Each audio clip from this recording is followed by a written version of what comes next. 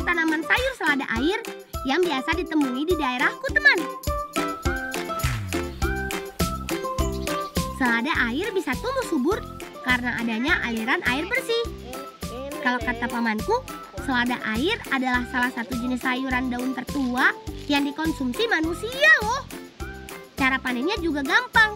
Selada air yang sudah tumbuh lebat dipotong dengan arit pada bagian batangnya seperti ini.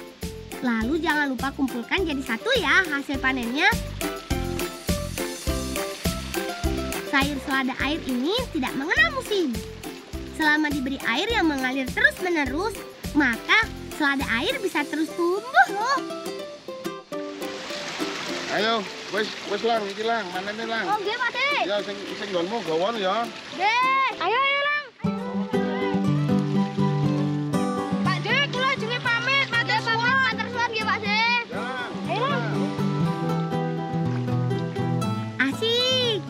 diberi selada air oleh paman. Terima kasih ya, paman.